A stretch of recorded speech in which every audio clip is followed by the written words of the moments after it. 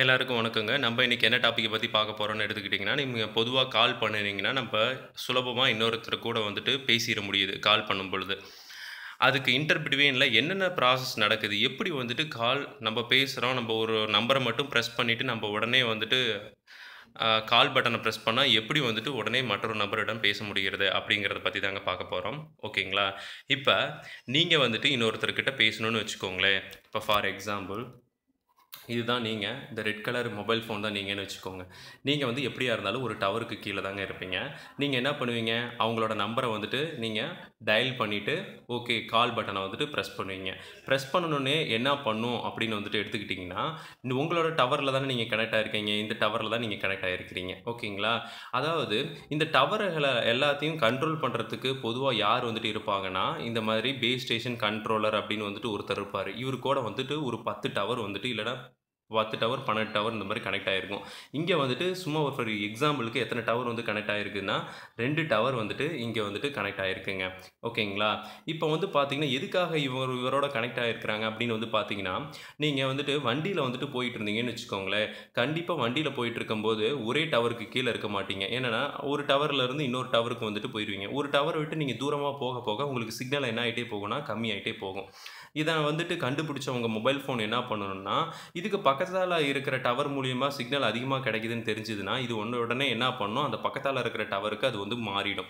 அந்த சிக்னலை வந்து அங்கேருந்து எடுக்க ஆரம்பிச்சுட்டு, இங்கே பழைய டவர்லேருந்து எடுத்துக்கிட்டு இருந்த சிக்னலை வந்துட்டு என்ன பண்ணிடும்னா, டிஸ்கனெக்ட் பண்ணிடுங்க. ஓகேங்களா? இந்த மாதிரிலாம் பண்ணணும், ப்ராசஸ்லாம் பண்ணணும் அப்படின்னா, அப்படி பண்ணுனா மட்டும்தான் உங்களால் கால் வந்து கண்டினியூவாக பேச முடியும்.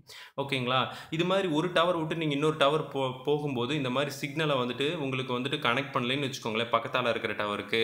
அப்படி கனெக்ட் பண்ணாமல் விட்டுட்டோம்னா, கால் வந்துட்டு மிடில்லையே டிஸ்கனெக்ட் ஆகிடுங்க ஓகேங்களா? இதில் எல்லாமே கண்ட்ரோல் பண்ணுறதுலாம் யாரோட வேலைன்னா, இந்த பேஸ் ஸ்டேஷன் கண்ட்ரோலர் அப்படின்னு வந்து சொல்லுவாங்க. இவரோட வேலை தாங்க. ஓகேங்களா? நீங்கள் முதல்ல கால் பண்ணுன உடனே வேறு என்ன பண்ணுவாங்கன்னா, இவங்க யாரோட கண்ட்ரோலில் இருப்பாங்கன்னா, இவங்க ஒருத்தங்க இருக்காங்க. மொபைல் ஸ்விட்சிங் சென்டர் அப்படின்னு சொல்லிட்டு. இவங்க எதுக்காக யூஸ் பண்ணுறாங்க அப்படின்னு எடுத்துக்கிட்டிங்கன்னா நீங்கள் கால் பண்ணுனீங்கன்னா, உடனே வந்துட்டு உங்களுக்கு கால்லாம் வந்து கனெக்ட் ஆகிடுங்கதுங்க உங்களுக்கு கிட்ட வந்துட்டு என்னென்னலாம் அவங்க செக் பண்ணுவாங்க அப்படின்னு எடுத்துக்கிட்டிங்கன்னா நீங்கள் ரூமிங்கில் இருக்கிறீங்களா இல்லையான்னு செக் பண்ணுவாங்க. அதாவது நீங்கள் தமிழ்நாட்டுக்குள்ளார தான் இப்போ நான் வந்து தமிழ்நாடுன்னு வச்சுக்கோங்களேன். இப்போ வந்து நான் தமிழ்நாட்டில் தான் வந்துட்டு இருக்கிறேனா அப்படிங்கிறத வந்து பார்ப்போம். தமிழ்நாட்டில் நான் இருந்தேன்னா, என்னோட நம்பர் டீட்டெயில்ஸ் ஃபுல்லாமே ஹெச்எல்ஆரில் வந்து ஸ்டோர் ஆகிருக்கும் ஹோம் லொக்கேஷன் ரெஜிஸ்டர். இதே வந்துட்டு நான் வந்துட்டு கேரளாவை சேர்ந்தவன் அப்படிங்கிற மாதிரி இருந்துச்சுன்னு வச்சுக்கோங்களேன். இப்போ நான் தமிழ்நாட்டுக்கு வந்திருக்கிறேன்னா, என்னோட நம்பர் ஹோம் லொக்கேஷன் ரிஜிஸ்டரில் இருக்காது. இந்த விசிட்டர் லொக்கேஷன் ரெஜிஸ்டர்ல இருக்கும்.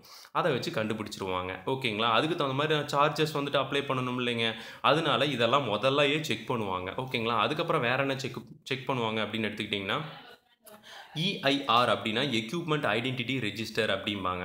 அப்படின்னா என்ன அப்படின்னா, நீங்கள் எந்த மொபைல் ஃபோன் யூஸ் பண்ணுறீங்க உங்களோட மொபைல் ஃபோன் மேலே யாராச்சும் கம்ப்ளைண்ட் கொடுத்துருக்குறாங்களா இல்லையா? அப்படிங்கிறதெல்லாம் செக் பண்ணுவாங்க. இப்போ ஃபார் எக்ஸாம்பிள் இப்போ என்னோட மொபைலில் வந்துட்டு ஒவ்வொரு மொபைலுக்கும் ஒரு எக்யூப்மெண்ட் ஐடென்டிட்டி ரெஜிஸ்டர் அதாவது என்னன்னா, ஒரு ஐஎம்இஐ நம்பர் வந்துட்டு இருக்குங்க. ஓகேங்களா? இப்போ என்னோட மொபைல் நம்பர் தொலைஞ்சு போயிருச்சுன்னா, நான் என்ன பண்ணுவேன், அந்த ஐஎம்இஐ நம்பரை போலீஸில் வந்து கம்ப்ளைண்ட் கொடுத்துருப்பேன் ஓகேங்களா? இப்போ அந்த ஐஎம்இஐ நம்பர் இது நான் கம்ப்ளைண்ட் கொடுத்துருந்தேன்னு வச்சுக்கோங்களேன், அவங்க வந்துட்டு என்ன பண்ணியிருப்பாங்கன்னா, அவங்க என் மேலே போலீஸ் வந்து ஃபைல் அதாவது கம்ப்ளைண்ட் வந்து ஃபைல் பண்ணியிருக்கிறாங்க அப்படிங்கிற மாதிரி இருந்துச்சுன்னா, அவங்க என்ன பண்ணுவாங்கன்னா, இந்த மொபைல் ஃபோனோட ஐஎம்இஐ நம்பரை ட்ராக் பண்ணுவாங்க. அப்படி ட்ராக் பண்ணுறதுக்கு நீங்கள் யாருக்காச்சும் கால் பண்ணுனீங்க அப்படின்னா, உடனே இந்த இஐஆரில் வந்துட்டு காட்டிடும் இந்த ஐஎம்இஐ நம்பர் இருக்கிறவங்க இப்போ கால் பண்ணுறாங்க அப்படின்னு சொல்லிட்டு. ஓகேங்களா?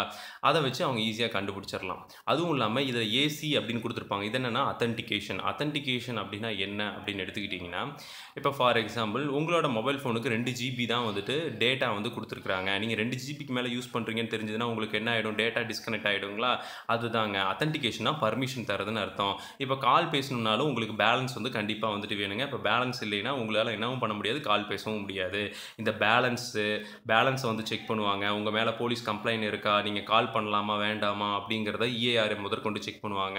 அப்புறமேட்டு நீங்கள் ரோமிங்கில் இருக்கிறீங்களா? இல்லையா? அப்படின்னு சொல்லிட்டு இந்த ஹெச்எல்ஆர் மற்றும் விஎல்ஆர் எல்லாம் கொண்டு செக் பண்ணுவாங்க. இதெல்லாம் செக் செக் பண்ணிட்டு தான் உங்களுக்கு காலை கனெக்ட் பண்ணலாமா? வேண்டாமான்னு டிசைடே பண்ணுவாங்க.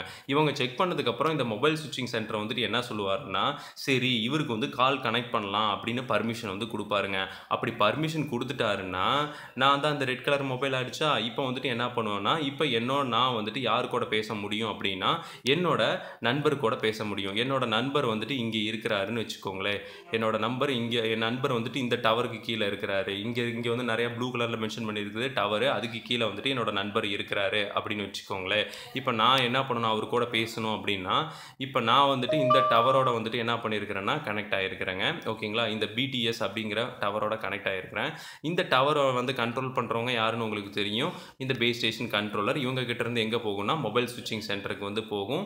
அங்கேருந்து எங்கே போகும் அப்படின்னா என்னோட நண்பர் வேறு யார் அவர் வந்துட்டு இருக்கிற அந்த டவருக்கு கீழே வந்து போகுங்க கனெக்ஷன் ஏன்னா அந்த டவருக்கு கீழே தான் அவர் வந்துட்டு இருக்கிறாரு. இந்த மாதிரி தாங்க வந்து கனெக்ஷனை வந்துட்டு எஸ்டாப்ளிஷ் பண்ணுறாங்க ஒரு கனெக்ஷனை எஸ்டாப்ளிஷ் பண்ணுறதுக்கு முன்னாடி இவ்வளோ டீட்டெயில்ஸை செக் பண்ணிவிட்டு மட்டும்தான் வந்துட்டு உங்களுக்கு வந்து கனெக்ஷன்ஸ் வந்துட்டு கொடுப்பாங்கங்க.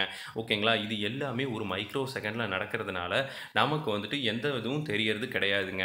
ஓகேங்களா? அதுவும் இல்லாமல் இந்த மொபைல் ஸ்விட்சிங் சென்டரை வேறு எதுக்காக வந்துட்டு முக்கியமாக யூஸ் பண்ணுறோம் அப்படின்னு எடுத்துக்கிட்டிங்கன்னா நீங்கள் வந்துட்டு மொபைல் ஃபோன் வச்சுருக்கிறவங்க இன்னொருத்தவங்க வந்து லேண்ட்லைன் மொபைல் ஃபோன் வச்சுருக்கிறாங்கன்னு வச்சுக்கோங்களேன் அவங்களோட பேசணும்னா இந்த மொபைல் ஸ்விட்சிங் சென்டரோட தான் வந்துட்டு யார் கனெக்ட் கனெக்ட் பண்ணியிருப்பாங்கன்னா அந்த லேண்ட்லைன் மொபைல் ஃபோன்லாம் கனெக்ட் பண்ணியிருப்பாங்க இந்த பிஎஸ்டிஎன் அப்படிங்கிறது வந்து பார்த்தீங்கன்னா பப்ளிக் ஸ்விட்ச்டு டெலிஃபோன் நெட்ஒர்க்குங்க அப்படின்னு வந்து சொல்லுவாங்க. அவங்க வந்துட்டு என்னென்னா லேண்ட்லைன் மொபைல் ஃபோன் ஓகேங்களா?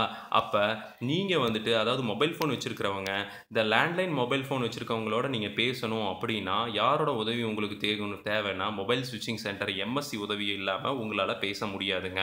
இவங்க ஒரு ஒயர்லெஸ்ஸையும் ஒரு ஒயர்டையும் வந்து கனெக்ட் பண்ணுறதுக்கு இவங்க ரொம்பவே உதவியாக இருக்கிறாங்கங்க. ஓகேங்களா? இப்படி தான் நீங்கள் கால் பண்ணினீங்கன்னா மற்றவங்களோட வந்துட்டு எளிமையாக வந்துட்டு பேச முடியுதுங்க. ஓகேங்களா? ஸோ என்னோடய வீடியோ பார்த்ததற்கு மிக்க நன்றிங்க. வீடியோ பிடிச்சிருந்தா லைக்ஸ் பண்ணுங்கள் தேங்க்யூங்க